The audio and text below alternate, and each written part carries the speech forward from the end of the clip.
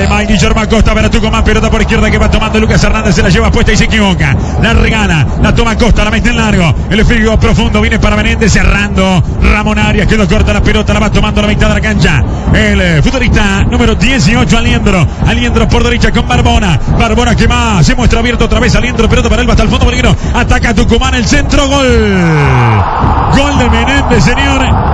Hay gol de Tucumán. Barbona arrojó por abajo y por derecha. Allá Aliendro metió centro. Aparece, señores, el gol tucumano a los 15 minutos de este segundo tiempo. El gol lo marca el número 11. Sí, señores, Cristian Menéndez. Cero para Peñarol, uno para Tucumán por la Copa Libertadores. HDF. Tan injusto como real el gol de Tucumán. 15 minutos, la corrida por derecha, el centro del primer palo y el muy buen cabezazo para desviar la pelota, para mandarla hacia el otro lado. Nada puede hacer, no reacciona Guruciaga. Y el Atlético Tucumán da la sorpresa. Cuando Peñarol movía las piezas para ganarlo, empieza a ganar la visita.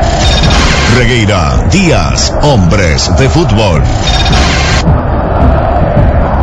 Se va a venir Diego Rossi con la número 16, la segunda de Leo Ramos. Gracias, Evenda Rossi, el juvenil, el pibe, el gurí. A la cancha en Peñarol. Está Lucas Hernández para pegarle al útil. Está el Cebolla también. Eh. Me da la sensación que le va a pegar el primero. Lucas Hernández.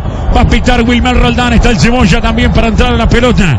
Tiro libre para Peñarol que inmediatamente busca el empate. A los 15. El gol lo hizo Menéndez. Tengo ya 21 con 20. Busca empatarlo Lucas Hernández también el Cebolla. A ver quién le pega. La orden el colombiano. Llegó Hernández, tiró la pelota, se desvía. ¡Gol!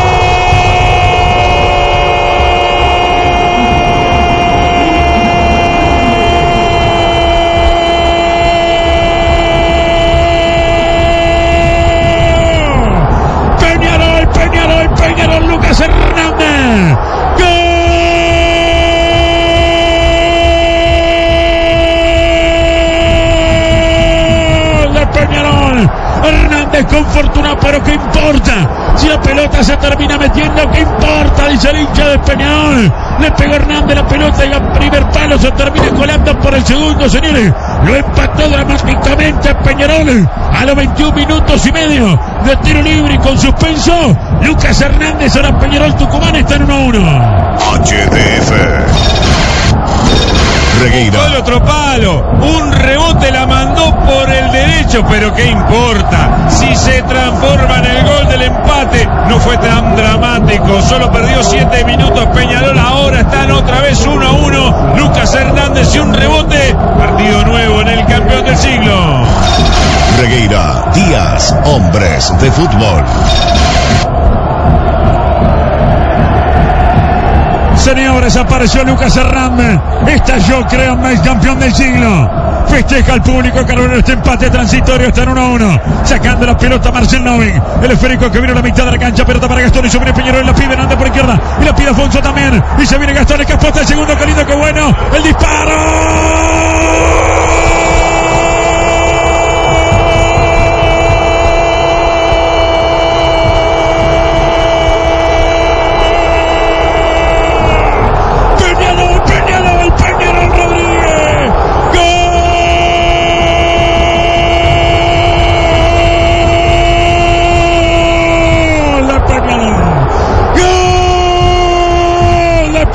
Le da vuelta!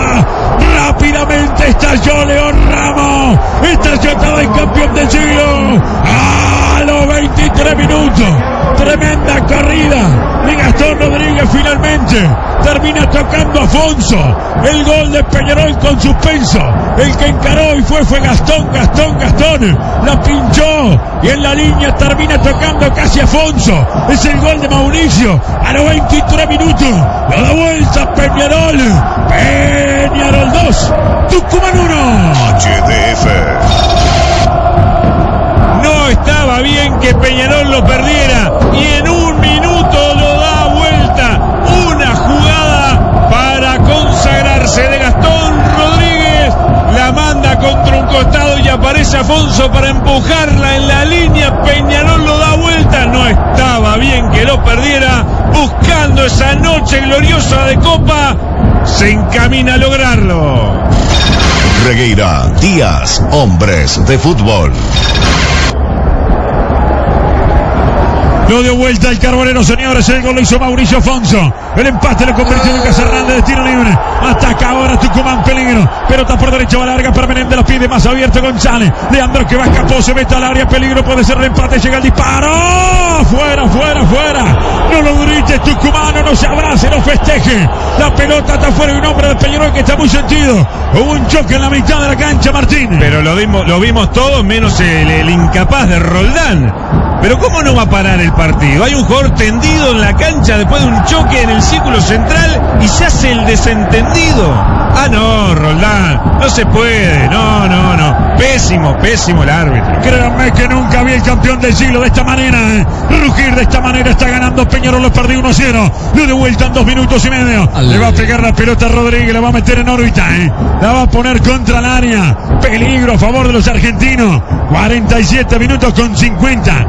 Se termina el partido, gana Peñarol 2 a 1, tiene que sacar este y se acaba. 47-55. Pelota aérea, la meten al medio, peligro, está viva. La tienen que sacar, la terminan golpeando con la cabeza. El rebote, González tiró el arco. El rebote está el empate, Gastón Gurusega. Se quedó con la bocha del partido, señores. Va a ganar Peñarol, se va a terminar el juego. 48 clavado. La tajada fue de Gastón Gurusega, se quedó con el último, va a devolver. Chanela, la moto de los campeones. Encontré la tuya en nuestro local de 8 de octubre, 20 de febrero y 18 de julio. Esquina Martín C. Martínez. Se va a terminar el partido, va a pitar Roldán, va a ganar Peñarol, pito, pito, pito, pito, pito, pito, Roldán, señores, señoras y señores, se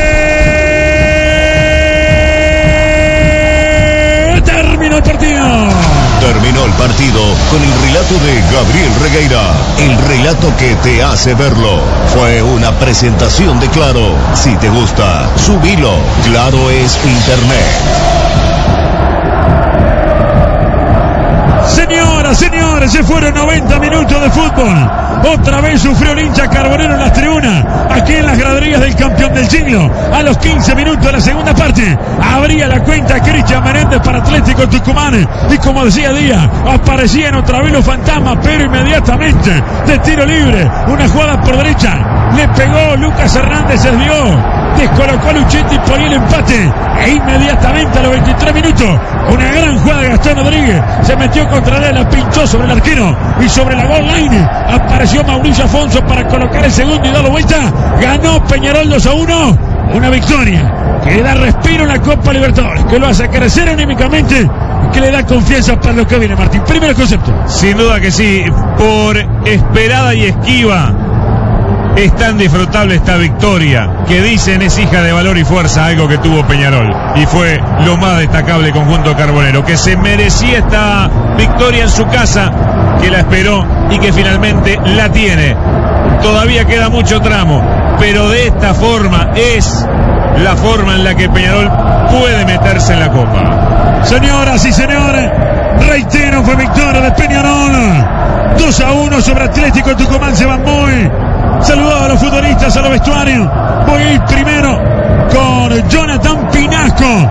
En el vestuario de Peñarol lo escucha usted. Pinasco, adelante, dele nomás. Informa Casmo más cerca de tu vida. Ya voy a estar con Pinasco. Seguramente allí poca recepción para los elementos de comunicación de hombre de fútbol. Hay muchas cosas ahí abajo. ¿eh? Está complicado llegarle. Señores, fue victoria de Peñarol. 2 a 1, llega a 3 puntos en esta fecha número 2 del grupo número 5 del máximo certamen a nivel continental. Se van retirando los parciales carboneros yo también. ¿eh? Me despido. Me reencuentro con todos ustedes como siempre mañana. ¿eh? A las 7 de la tarde en Hombre de Fútbol 1090 AM. Qué buena victoria de Peñarol. Realmente, qué bien le hace a Peñarol esta victoria lograda a nivel internacional frente a un duro rival como lo es Tucumán aquí en su casa. El campeón del siglo ganó Peñarol 2 a 1. Hasta mañana. Chau, chau.